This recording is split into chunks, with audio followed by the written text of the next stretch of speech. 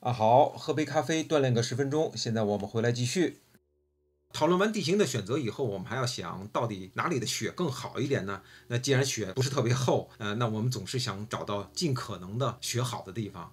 同样还是继续看这个示意图，现在是阴天的状态，然后风是从右下角向左上角这边吹，实际上就是西风。那么在雪季初，我们一定要考虑一个重要的问题，就是冻结海拔高度的概念。也就是说，在一定的海拔高度之上下的是雪，低于这个海拔高度以后下的就是雨了。那很显然，我们就是要选择有雪的地方去滑。当然，你在整个路线的规划的时候就要注意，可能低过这个海拔的时候，有可能碰到雨，那雪况就有可能变得冰湿，甚至更硬一些。这些都是要在出发之前就要考虑好的。那么总结一下，高海拔更冷一些，雪况好一点。北坡因为不朝阳嘛，化得慢一些，所以它更冷一些，然后雪况好一点。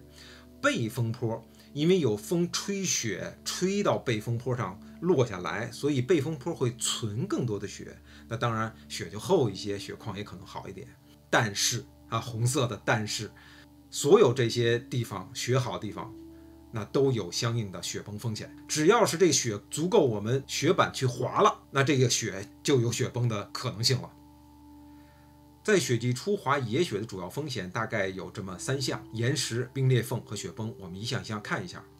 这是法国葱人谷我们当时滑的一个路线，大家可以看到这里边好多好多大石头。雪季初下那几场雪根本就盖不住。我把照片的对比度再调整一下，大家也可以看到，实际上我们就沿着中间靠右一点这么滑下去的。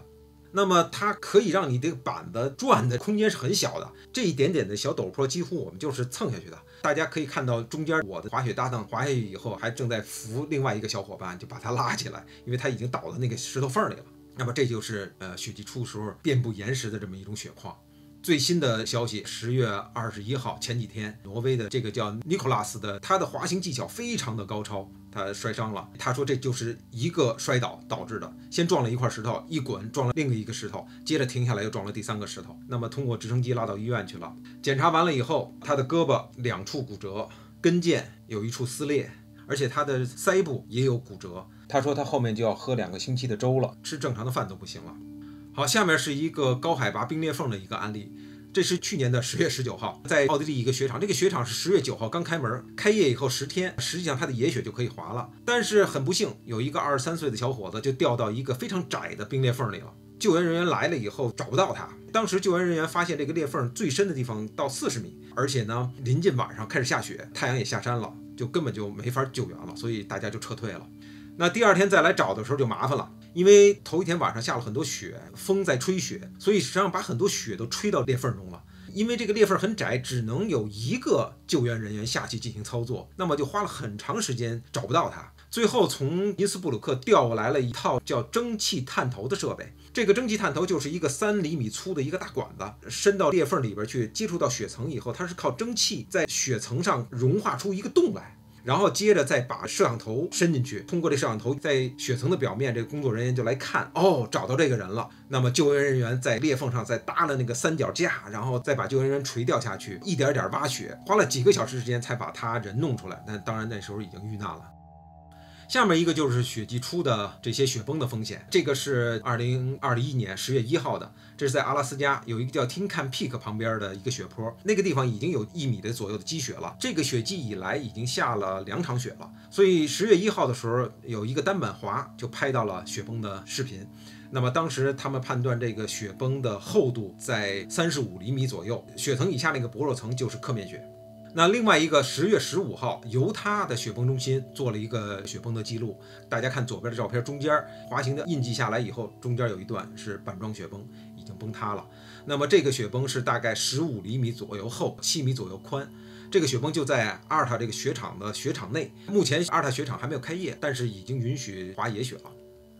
雪季初的降雪呀，实际上无论天气怎么变化，都是有一定的雪崩风险的。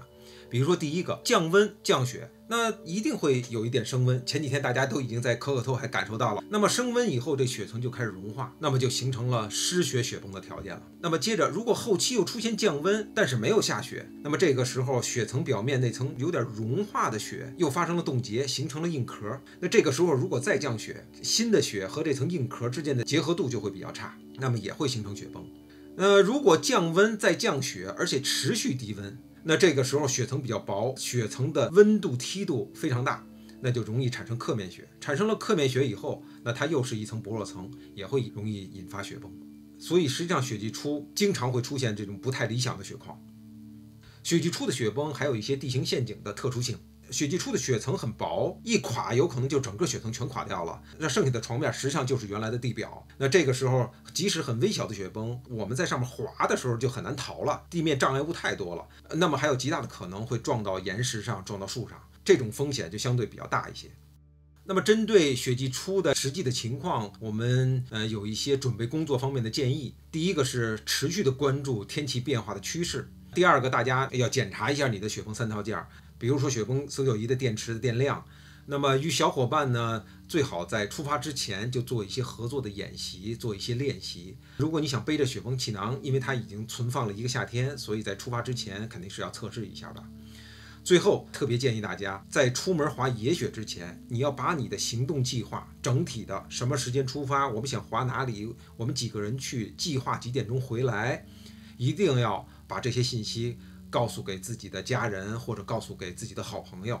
那么，万一出现什么紧急情况，这个详细的计划会给救援工作带来非常大的便利。好，这个就是雪季初野雪怎么滑的一些建议。